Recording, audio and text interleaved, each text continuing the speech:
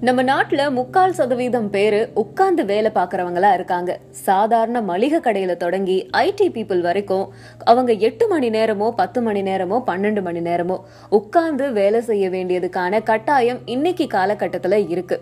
அப்படி உட்கார்ந்து வேலை செய்யறதுனால என்னென்ன சைடு எஃபெக்ட்ஸ் வருதுன்னு தெரியுமா? கணுக்கால் பிரச்சனை இடுப்பு பிரச்சனை மூட்டு பிரச்சனை ஸ்பைனல் கார்ட்ல இருந்து காலுக்கு போற நரம்பு பிரச்சனை கழுத்து வலி இன்னும் ஏகப்பட்ட வழிகள் வருது.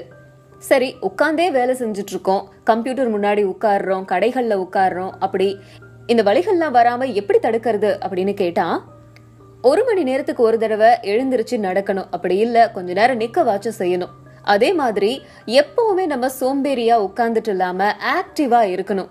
அதே மாதிரியே ஆஃபீஸ்லலாம் வேலை செய்கிறவங்க குறிப்பிட்ட தூரம் வரைக்கும் அவங்க படிக்கட்டுகளை யூஸ் பண்ணலாம். பன்னெண்டாவது ஃப்ளோர் பத்தாவது ஃப்ளோர் அப்படி இருக்கிற பட்சத்தில் ஒரு அஞ்சு ஃப்ளோருக்கு அவங்க லிஃப்ட் யூஸ் பண்ணலாம். அதர்வைஸ் படிக்கட்டை யூஸ் பண்ணால் ரொம்ப நல்லது.